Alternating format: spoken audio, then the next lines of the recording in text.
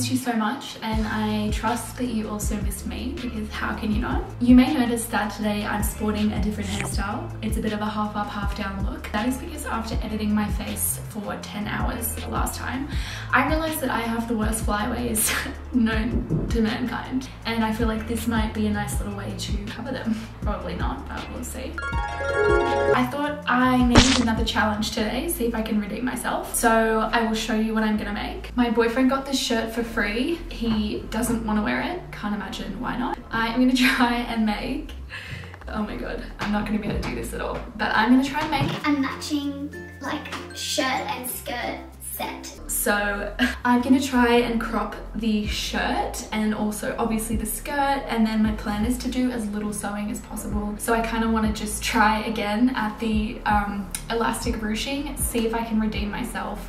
Hopefully I can. So let's do it. Has anyone else been really emotional during quarantine? Because I was driving here, the radio was on and Castle on a Hill by Ed Sheeran was playing and I teared up big time. Like that song just hit a nerve today for some reason. I already cut this shirt like way too short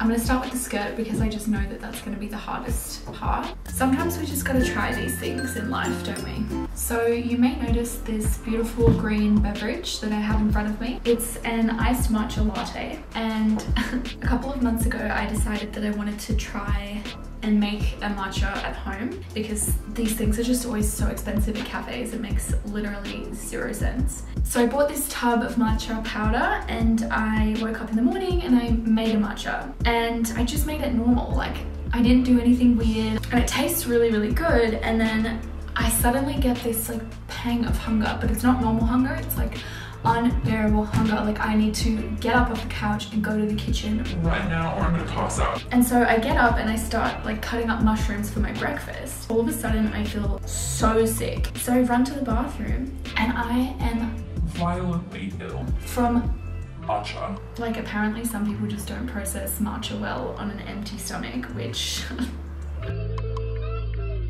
So now when I have a matcha, I have to have it either with food or right after I eat food. Otherwise I will vomit everywhere. All right, so this is the big moment that I'm very scared for because this is where I up in my last video is threading the elastic through. I'll tell you something I'm mad about and take this very seriously. This is really serious, actually. I feel like you kind of have to live under a rock to not know that Miley Cyrus's new boyfriend is the one and only Cody Simpson. Now, I'll tell you why I'm mad about this.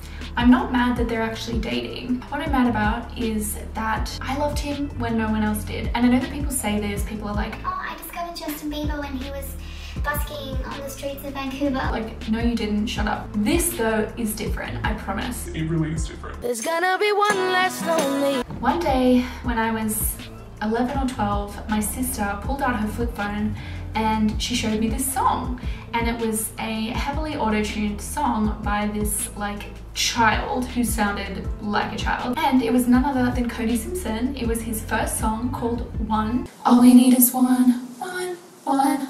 All we need is one, one. Not to interrupt myself, but we have ruching and I'm very excited about it. So after hearing that recording and finding out just a little bit about his personal life,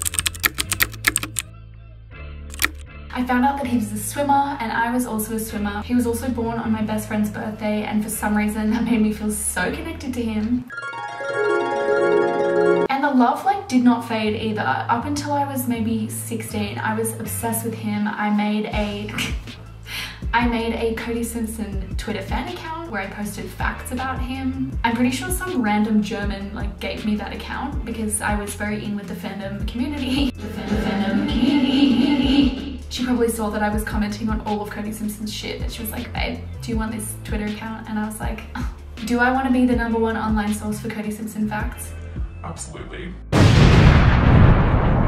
All my friends said that he looked like a naked mole rat, and I was just really upset by that. You know? And so I kind of felt like I was fighting for him throughout my entire adolescence. Like I just wanted people to see how like gorgeous he was, how lovely he was, all of that kind of shit. And now that he is dating Miley Cyrus, the whole world seems to think that he's Gorgeous and funny and like humanitarian and he's a poet. and I'm like, I was there first when nobody else cared, and now all of you Little haters. are pretending to love him because he's dating Hannah Montana, and I'm just really over it.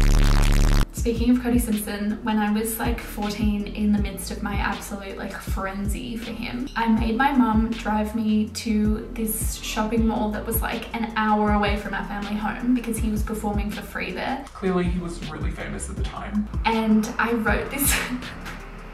oh my god, it hurts me to think about this. I wrote him this letter, which in my mind was gonna make him love me. The letter basically said, Cody, I'm not like the other fangirls. I know you. Like, I know that you were a swimmer. I know your sister's name. I know your birthday. And then the cherry on top is that when I was at the concert, I had the letter in an envelope. I throw the letter on stage, but I'm like halfway down the mosh pit, so it just like lands two meters in front of me on some girl's head. And it like hurts me to think about the cleaner or whoever had to find my letter. How was your day, Daddy? It was great, um, but I found Cody Simpson's stalker and I'm gonna take this letter to the police. With like being a crazy fan like that, I feel like everyone's split down the middle. Like you didn't just love One Direction, you had an entire One Direction shrine on your wall in your bedroom or you didn't like them. Guys, are you ready? I slayed it. I absolutely slayed it. I mean, it's not cute, but I did it. Yes! I'm just gonna sew up that gap and then the skirt is done. And I f***ing nailed it. So my top and my skirt are done and I was hoping that I'd have some extra fabric to make a little scrunchie. I don't have any matching fabric, but I do have this beautiful pink silk fabric, which I feel like it's not a perfect match. How are you coping with this quarantine? Because I feel like when I first went into quarantine and obviously like lost my work and stuff, I was really devo. I was just really emo. It comes in waves though. Last week I was a bit eh, and then this week I'm thriving. If you're feeling good, just like do as much productive and fun shit as you can so that when you are in like the emo zone you can also just lean into that and just chill and feel sad and relax and then when you feel good you can be productive again. So in case you're wondering how to make a scrunchie it's so easy. You just cut out a giant rectangle which that is not a rectangle so I need to make it a bit more rectangular. The measurements are meant to be something like three and a half inches that way and then like 21, 18 to 21 this way. I don't measure it anymore. And then you need a piece of elastic, that thin piece of elastic this width, which I think is a quarter of an inch maybe. I don't do inches. Measure around your wrist, but then you want to have a little bit extra so that you can tie it in a knot. So the other day I was at home and two police officers knocked on my door. And like that is literally the first time that's ever happened to me in my entire life. And a little backstory about me, I hate authority. I've always been really scared of like getting in trouble. I hate principals, teachers, police. And I opened the door and thank God they were just like looking for the person who used to live in this apartment and I didn't do anything wrong, which is great. but my mind immediately jumped to like, oh my god, they're checking in on everyone in Sydney, checking that they're socially isolating and stuff, which is the most Extra thing to assume. like as if police officers are going to go to every single person's house and check on them. She's definitely a chunky girl, but this is her.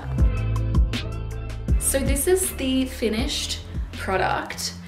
And I feel like I Kind of nailed it. like, obviously I'm not gonna wear this out of the house because I look like I'm wearing a tourist Halloween costume. But I did exactly what I said I would do. I did a crop top with this elasticated waist. Is the execution perfect? No, the hem is absolutely shocking and the shirt is way too short for me. But again, like I'm gonna take that small win. I feel like this scrunchie is kind of cute. I mean, she's a little bit thick, but who isn't during quarantine? So anyway, that is it from me. I posted about this YouTube channel on my Instagram story, which was literally the most terrifying thing I've ever done in my entire life. But People did not react the way that I thought they would. Like I was expecting to get Absolutely roasted. and instead people were so nice to me so I feel really happy about that. Thank you again for watching and Don't forget to subscribe.